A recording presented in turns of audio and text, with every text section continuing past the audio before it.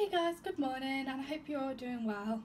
So my Superdrug order came this morning which I'm really excited about. I've already opened some stuff and tried it out but I thought I'd show you all what I brought.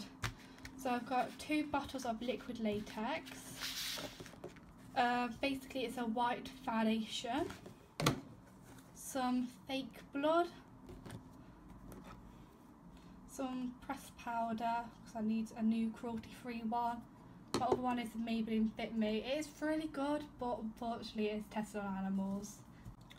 I brought this contouring thing which is good if you want to like go as a skeleton or give yourself really harsh contour lines. Not for everyday wear, but if you're doing like a look or something, it's quite good. And I brought this SFX palette. Which is good because it gives you loads of uh, arrays of colours. You've got stuff to give you bruises blood, veins and everything in here so it's really good. And lastly I've got this on the buy one get one free offer. It's just some micellar water because I need some more makeup remover. So the gerbils have amazingly managed to mess up their cage again even though I neatened it up this morning. Oh, you've seen, hello.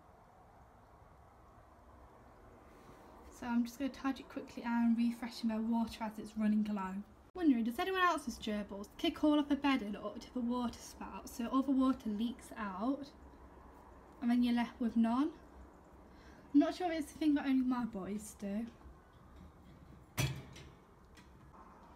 So I've given them some more bedding. This is their digging area and then this is just their normal area.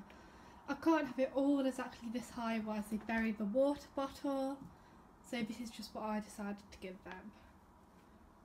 I might make this, I might put a wooden log there to make it more of a digging area, but for the moment Beef's just enjoying having a bit of a dig around and stuff.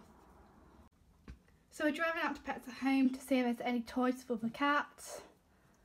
And I may buy some stuff for my gerbils, even though I only went yesterday, so they don't really need any more things, but if there's anything cute I might buy it them.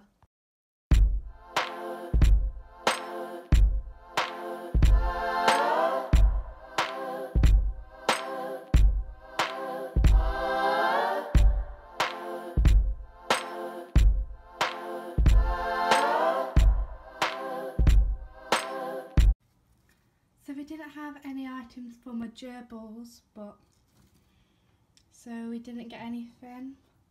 But this is the end of the vlog now guys and I hope you have a really nice day and I'll see you later.